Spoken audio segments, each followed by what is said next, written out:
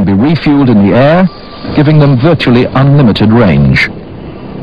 As part of Operation Desert Storm, PSYOP's broadcasts helped persuade Iraqi troops to surrender. But Operation Uphold Democracy in Haiti in October 1994 is its biggest success so far. The US military's mission was to back ousted President Jean-Bertrand Aristide in overthrowing the de facto military regime. Commando Solo broadcast messages in Creole. Appeals for calm were interspersed with news panel discussions and local music. Other broadcasts were aimed at stemming refugee flotillas. Messages informed them that they would not be allowed to enter the United States. We were able to turn off the refugees, prepare the country, and to provide an alternative to invasion so that when Aristide did return, it was a peaceful return of a legitimate power. And that is the ultimate goal of uh, psychological operations. We are able to uh, basically win a contingency, I wouldn't call it a war, without firing a shot. But this system does have its limitations. Anyone can turn off the propaganda by turning off their radio or television. The ultimate weapon in the info war would be so secret, so invisible, so undetectable, you would never know your mind was under attack.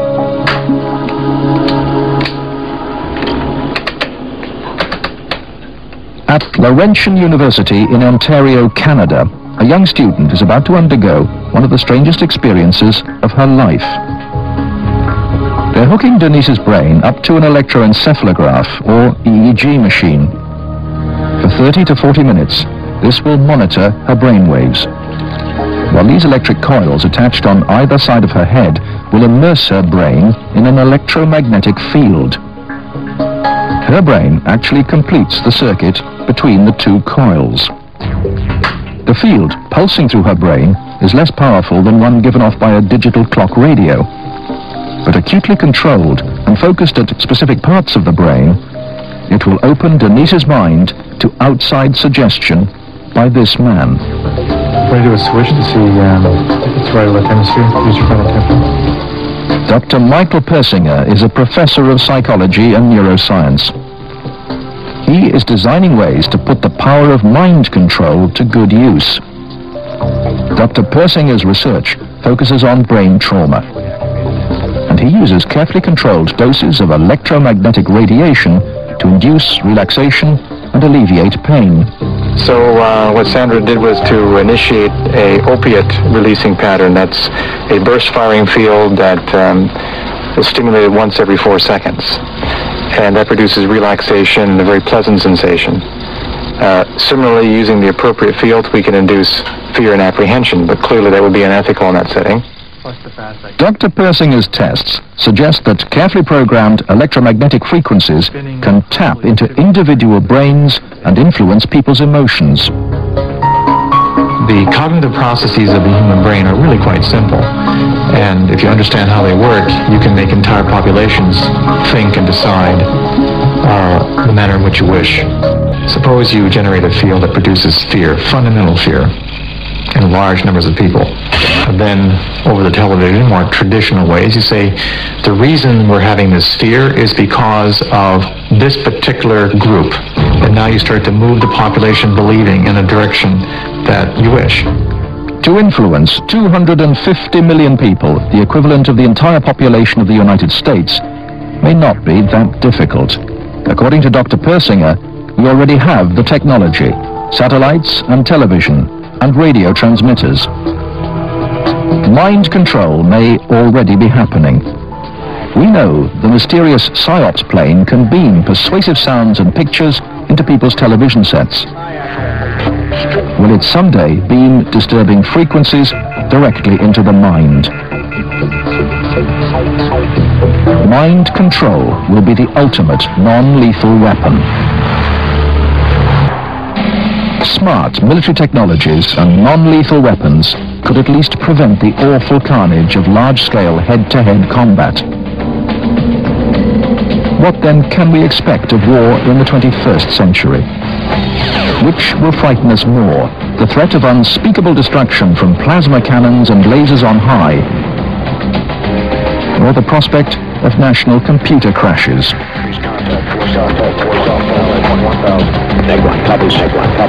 Paradoxically, the promise of truly bloodless war may come only with the most devastating weapon of all. If the human mind and will become the battleground of the future, War 2020 may be won without so much as a whimper, let alone a bang. Will it ever be possible to read the thoughts and feelings of another human being? Maybe even put ideas into their head to have them do our bidding? Science is finding a way. In a strictly therapeutic context, Dr. Mark George uses magnetic stimulation to treat depression. So if you look at the thumb It's a powerful demonstration that our minds can come under outside influence. It looks very promising now that we can use this by stimulating over the prefrontal cortex to influence mood both in pathologic states like depression or um, even in healthy controls we can subtly cause people to be happier or sadder. The technology was first used to explore how the brain controlled movement. But more and more, doctors are using magnetic brain stimulation to help lift the spirits of depressive patients. But could it be used to plant specific ideas into a person's head? What we're doing is we are uh, either heightening or diminishing regional activity in our, in our brains, and our brains obviously have mechanisms to regulate moods, just as we regulate our heart rate or other things. And what we're beginning to do is to be able to use this to understand those regulatory systems and kind of push them one way or another. But what about the possibility of reading people's thoughts? Using brain imaging tools, doctors can observe the brain activity associated with specific thoughts or behaviors. It would be possible to not only read the emotional states, but perhaps to induce the emotional states by turning on or off certain regions. Microwaves and other radio frequencies are known to affect the human body. But could they be responsible for voices in people's heads? These are called electromyographic signals.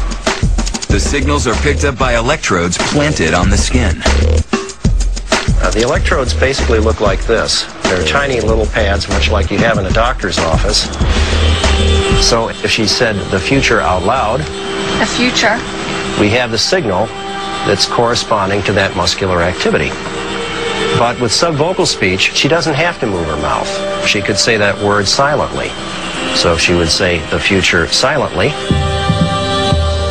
Here she said the future, but she didn't move her lips. And you can see that there is still the same signal being picked up by the electrodes underneath her throat. Once the electrodes capture the signal, they can be transmitted, as if through a cell phone, to someone with an earpiece receiver. In Chicago, Illinois, a world authority on microwave hearing shows how it could work. I'm hearing a microwave pulse like a click. Now it sounds like a, a chirp with a tonal quality to it. Professor James Lin is hearing sounds that aren't there. But he's not crazy. Pulses of microwave energy are being generated and fired at him from behind. Microwaves can be heard depending on the individual, uh, depending on the hearing acu- uh, acuity of the individual. Individuals with fairly normal hearing can hear microwaves at the quite a low level. The energy of the absorbed microwaves causes brain tissue to very slightly heat up and expand, causing a pressure wave to be picked up by the hearing mechanism in the inner ear. Professor Lin is far from hearing voices, but it could be possible to send coded signals to an agent this way. Brain is an electrical organ. Uh, it is uh, susceptible to electrical signals. Since microwave is electrical, therefore, in principle, one could uh, embed or encode information in the microwave signal such that it could be perceived by the brain.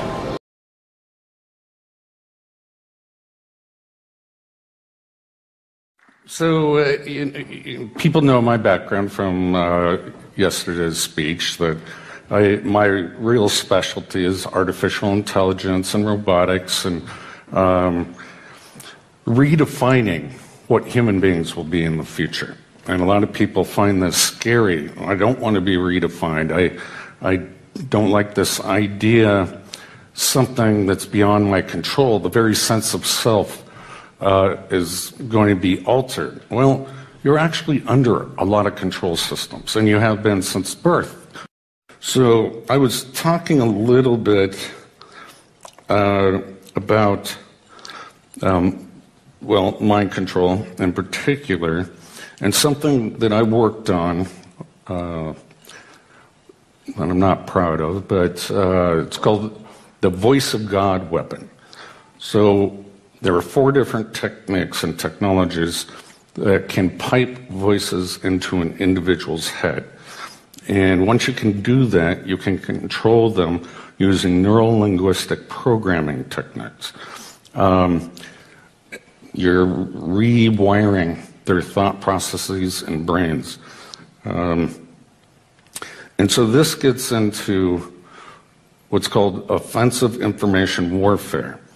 And they used it, I believe, in the Gulf War uh, to tell the enemy at that time, lay down your guns, this is Allah. And it worked pretty well because hearing voices which have no direction or sound, you have to assume that it's some spiritual entity. Uh, so it works pretty well. And uh, then, I don't know if I'm going to get into this, but there's something called hyper game theory. How do you, they, they want to see if they can manipulate people to do things that are irrational, but also walk them to their death. And so you can call it a eugenics program, even. Um, and they need to f- sample all cultures, language uh, throughout the world to define the probability matrices of which tricks, techniques, deception works. Um, that's just what's happening. Now we have, uh, which are magnetically activated nanoparticles and sensors. So, how do you control a brain? Most people don't believe that. Oh, you can't control me. I, I have my own free will. There's no way you can get to my soul. Well, sorry, that's not true. Um, so these nanoparticles are activated under certain magnetic frequency and will alter the brain patterns and pathways. Uh, recently, my school came out, Harvard came out with uh, what you see here on the right slide is the magnified view of a needle that's injected into the brain and puts the scaffolding over the brain and then it's read that way at a much finer resolution. So let's talk about a little bit um, um, about deciphering the audio and visual cortex. Uh, so researchers at the University of California, Berkeley have invented a brain decoder device that's able to work out what you're thinking based on neural activity inside of the brain. Now they use mostly what's called functional MRIs. Um, but uh, you could use any of these technologies I've talked about. If you're reading text in a newspaper or book, you hear a voice in your own head. Usually, most people are reading kind of aloud in their own head. Well, they can read that, decipher the words that you were thinking to yourself. So there's uh, another one, uh, University of LA, maybe Stanford University. They are decoding visual images. So they train the person under in functional MRI, that's the standard technique, to look at images and then they record them and then they ask the person to uh, imagine the object. It can also just be imaginary. And the computer will decipher the brain code and so you're looking at a hammer, you're looking at a saw. That's a house, that's a cat. So the technology in the civilian sector is coming along uh, quite quickly. Somebody apparently from NASA leaked this as something they were working on. And telepathy, electronic two way communications. Well, we have that now. And that's very scary if you don't, if you never experienced it. um, making hum- humanity think an alien invasion is about to occur at every major city. Well, we have holograms in the sky. I describe that technology. Um, and, you know, they, they talked about other things uh, that might make this come about. But all I am saying is beware. Yeah, can you elaborate on hyper game theory and so called walking people to their death? okay. Yeah, so hypergame theory came out of a, a, professor at Dartmouth, obviously funded by the Air Force and DARPA, and etc. All the all the acronyms, and um, it came from a man that died recently, brilliant man named John Nash. Um, who there was a movie made about him called The Beautiful Mind, and he was a mathematician who won a Nobel Prize, and he created game theory, which is used in economics as well as uh, war theory. Now, it relies on rational players. So you run these simulations. What will China do if we make this move? What, what is the, the, theory, the game, the, the war game going on? Or you can use it in business, similar, uh, similar process. Hypergame theory is a, one level above of, of that abstraction that you don't know what game they're going to play. So they use it in cyber warfare uh, mostly. And attackers, you know, hackers, they'll use several different techniques. But the defenses, the administrator, and the virus protection, they don't know what game these hackers are using. So they create a probability matrix over the period of the time of sampling all the different kinds of hacks they get.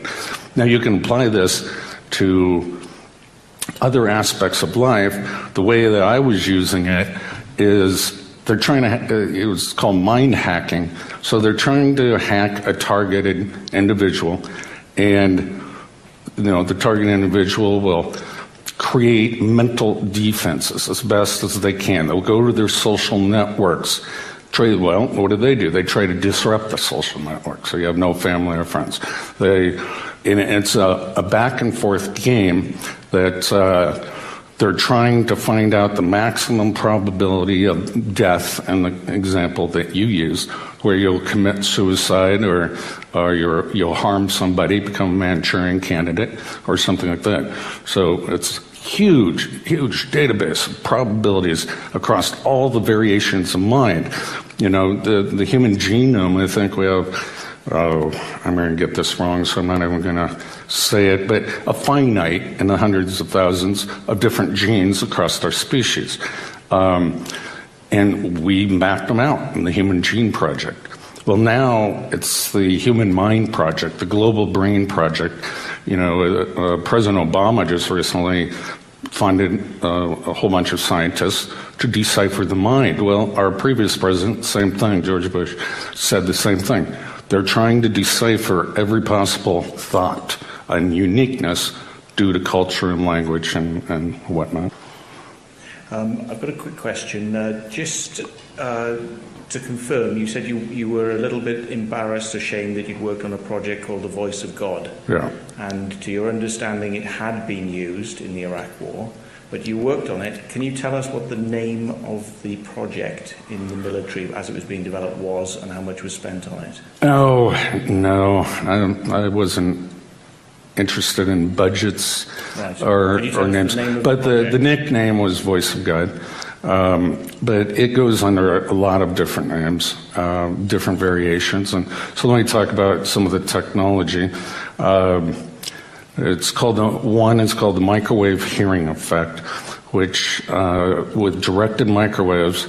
Uh, this was discovered by a guy named Frey.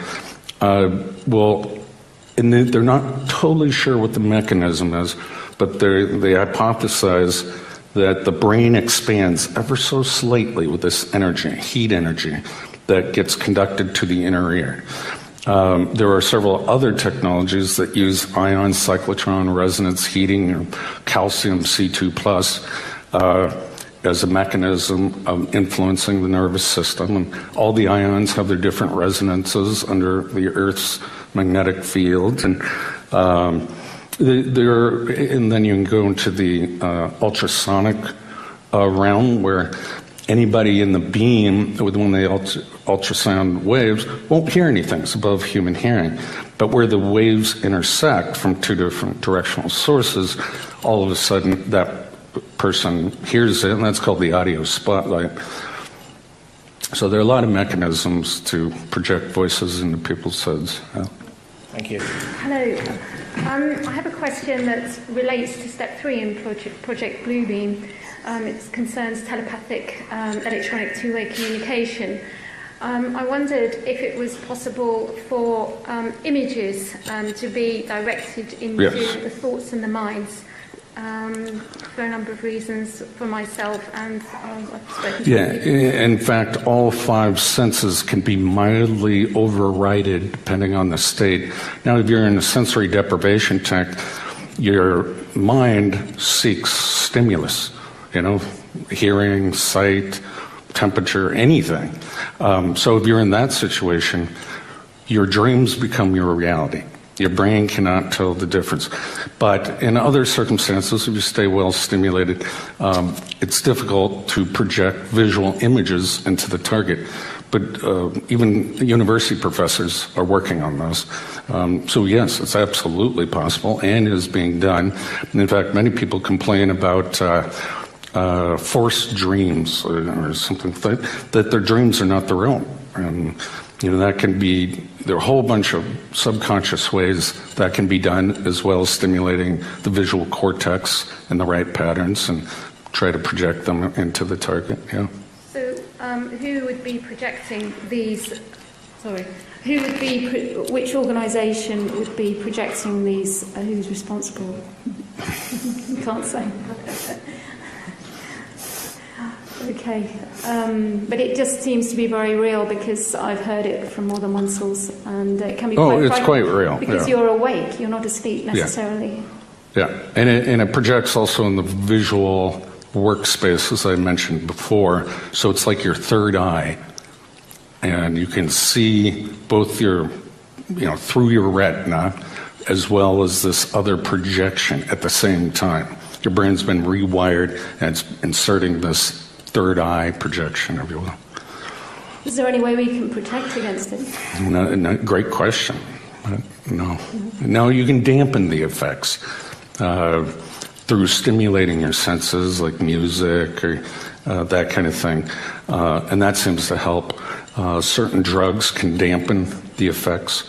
Um, but uh, no one's found a little device that you can wear around that will block No the little hat signal. you can wear. No tinfoil hats, no, they don't work. Thank you. Okay, I'll come down on the stage actually, because I think it's probably going to be the last question.